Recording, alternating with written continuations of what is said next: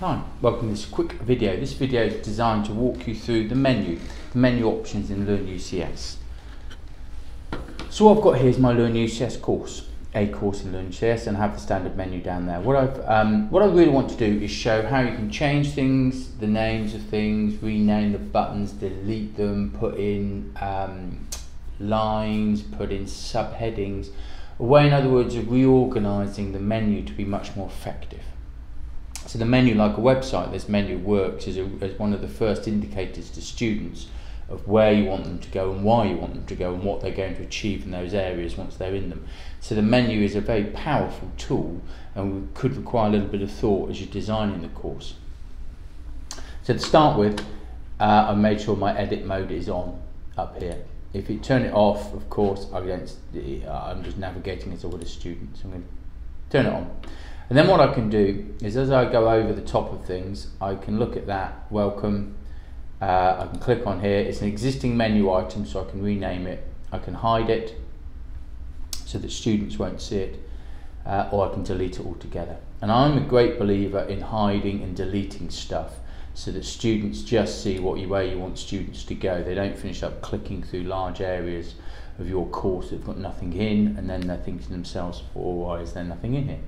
So I can modify whatever is in place. I can also, as you see with these lines, just happily move them around and reorder them. Again, quite a useful thing to do because most people go top down when they look at menus, don't they? So you can start to profile or promote um, areas, uh, uh, some sections above others. What I've got in here as well is I've got an thing called activities, which in fact is just a menu item, but it it is I can rename it and delete it because it doesn't do anything. It's a it's a subheading, so I'm going to add subheadings and do all sorts of things there. So, how do I start manipulating? Well, if I want to put some sub subheadings and breaks in, I can do the following. If I click up on the pop plus sign up here, you can see I can add a new menu item, and that can be a content area, it can link to a tool area, it can be a web link or whatever, but it can also be a subheader and a divider. So I'm going to put a subheader in.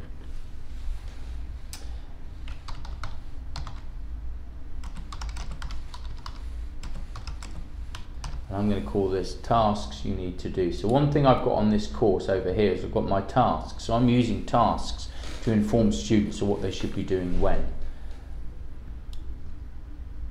I'm going to have tasks that they need to do. So in my task area, I want them to link now to a tool which actually takes them to this thing and lists all the tasks they need to do. So I'm now going to go and add a tool link and that is a task and I'm just going to call it tasks.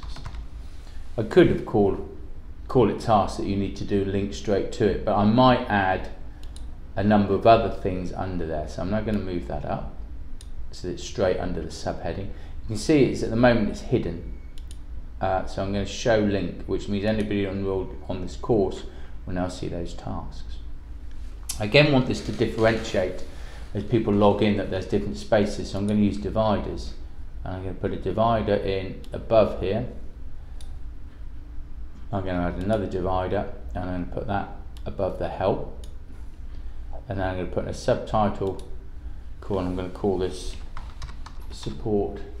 Well, you can see what I've got here, support resources. Actually, I don't think I'm going to want to call it resources, I'm going to call it materials. And I'm going to put that above there. Okay, so I might want to also now look in, think, well, if I put a web link in, I'm going to put it to the library, or UCS library, and that's where I put in the link to the library. But at the moment, I'm just going to put it in as a holding one, so I'll put it into the BBC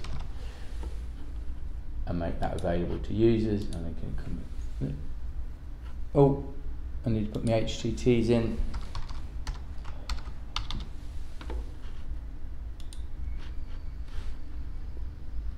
So, and I'm going to put library above the help there. Okay. So that's what I've got now then. I've got support area and I've got task area. I'm going to change that welcome to, I'm going to rename that instead of welcome to, um, I'm going to call it home area and then I just tick this there, that's fine. And then I've got activities under here. I've got their assessments. Um, session updates is I think put in another one called call that news. And in the news area, we'll have the session updates there. Okay, so now if I click on here, I've used my menu quickly. I've used subheadings and divisions to identify that's the core area, the course where they get the latest news. They click on the session updates, and that's where they go to all of the blogs where they're doing their session updates. Here, their activities, they've got their learning sets, and they've got their assessment area where they'll do their submissions. This happens to have some peer review and some general quiz questions in. The tasks, they can click on there, and that's the things they need to do. So they need to know that this is the thing they've got to, don't forget to do your assessment there, and it's given them a date to do it by. And this is late, so it started getting set a priority for it as well. And I've got my support materials. So some very simple things to do here. I've done it in sort of five minutes and that changes the whole feel of the course and gives students a much clearer idea of what sort of things they need to achieve on the course or you're hoping that they achieve on the course. I hope you've enjoyed the video.